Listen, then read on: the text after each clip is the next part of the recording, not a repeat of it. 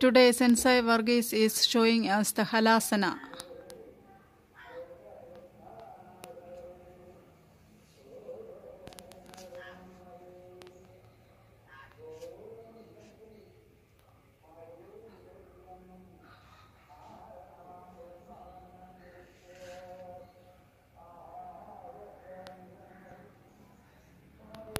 Yeah.